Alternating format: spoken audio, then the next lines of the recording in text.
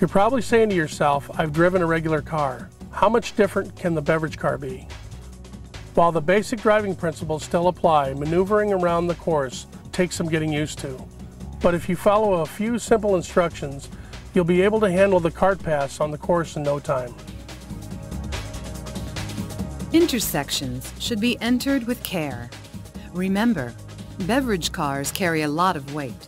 To maintain proper stability, drive slowly in turns and do not drive over curbs, steep slopes, or extremely uneven terrain. Always yield to members and guests. Typically, your round will begin at the 9th or 18th green. You will drive into the direction of play from green to tee. Never cut across the course.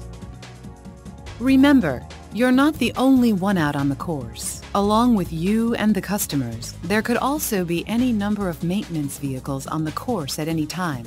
Always give the right-of-way to maintenance vehicles and pull off the path while leaving two wheels on the path. While maintenance equipment can drive on and off paths with ease, your beverage car is designed exclusively for traveling on paths. In an ideal world, every round and every shift would be completely incident-free. Unfortunately, bad things sometimes happen.